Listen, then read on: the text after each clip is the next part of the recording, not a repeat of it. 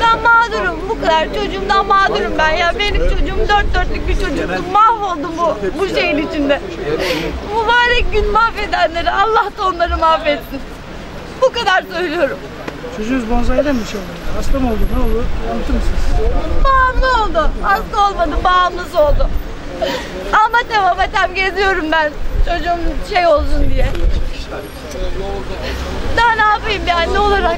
Sesleniyorum en büyük başlarımıza yani bize yardımcı olsunlar. Bunları kim yaptırıyorsa bunları yakalatsınlar ya yok etsinler bunları. Yazık günah değil mi? 19 yaşında çocuklar mahvoluyor. Mahvoluyor.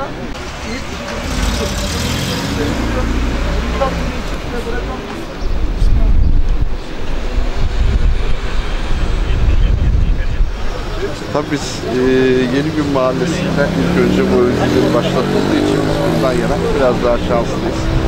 E, ve e, mahallemizden bu işlerin bir an önce e, def edilmesini Aziz, ve güzel ve e, iyi bir gençlik yaşatmak istiyoruz.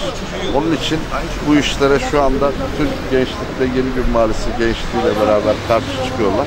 Onun için bundan sonra inşallah mahallemizde bu tip uyuşturucu e, olayları yaşanmayacak.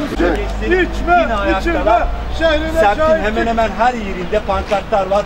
Biz bu semtte abiler ve kardeşler olarak Bazı arkadaşlar kendileri tedavi görmek istedi. Şu anda da tedavi gören arkadaşlarımız ve kardeşlerimiz var. Tedavi, tedavilere de olumlu Teşekkür ederim arkadaşlar. Sağ olun.